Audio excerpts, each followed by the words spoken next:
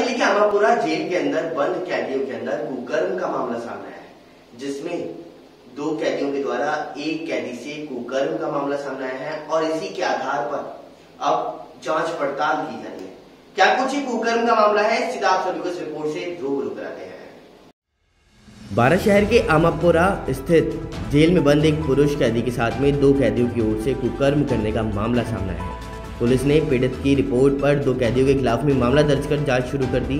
कोतवाली थाने के सीआई मांगेलाल ने बताया कि गुरुवार को सेतु बंद प्रहरी, जिला कारागृह बारानी कार्यालय अधीक्षक, जिला कारागृह बारह से जारी प्रार्थना पत्र और पीड़ित की ओर से दी गई रिपोर्ट कोतवाली थाने में पेश करी है। इसमें पीड़ित कैदी ने बताया कि वह किसी मामले में बारह ज़िले के बैरक नंबर चार का बंदी है।